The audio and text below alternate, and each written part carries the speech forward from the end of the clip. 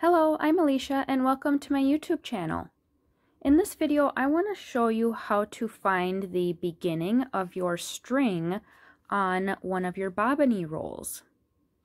This is a question that I get a lot, and so let's let's look at this and let's find this one together, and hopefully that will help you find your own beginning to your string. So first, go ahead and remove the uh, paper that goes around the roll. And I like to hold it just like this. And I start rotating it. And what we're looking for is a spot where the string stops and is tucked up underneath another one. So I just start rolling. I always start looking at the outsides because that's where it will be.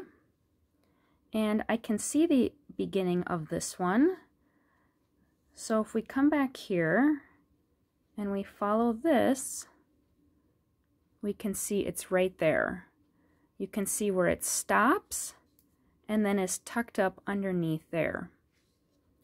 So we'll just simply pull that out and there is your beginning. Okay, I hope that helps.